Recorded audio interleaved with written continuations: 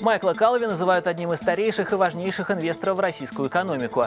Теперь он находится за решеткой. Грозит ли это России проблемами? Вот один из самых обсуждаемых вопросов на неделе. Вопросов, которые мы собираем здесь, в Кубе. Боюсь, что нам будет очень долго и сложно объяснять, прежде всего, иностранным инвесторам, что надо инвестировать в проекты в России. На фоне заявления российского руководства о создании благоприятных условий для бизнеса, уполномоченный по правам предпринимателей Борис Титов сетует, что ему все сложнее убеждать инвесторов инвестировать в Россию, особенно после дела основателя фонда «Баринг Восток» Майкла Калви.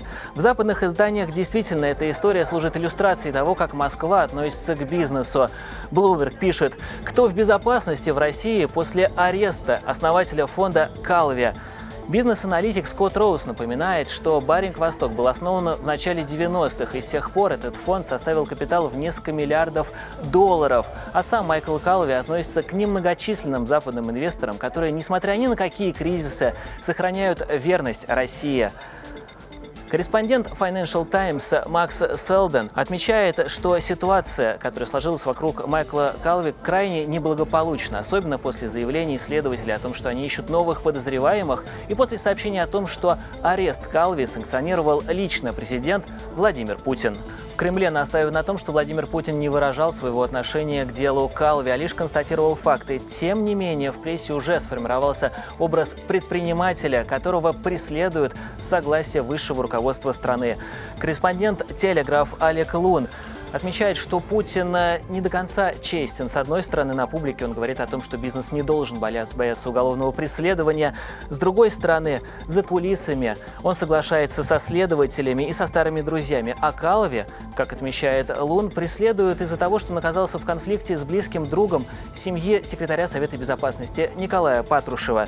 Этой же версии придерживается Александр Рыклин. Главный редактор ежедневного журнала и политик считает, что речь идет об упадке государства. Какой-нибудь сын друга Патрушева должен был сказать другу сына Патрушева «Слышь, друг, Калове важный для нас человек». Но такого не случилось. Это государство пожрет самое себя, уверен Рыклин.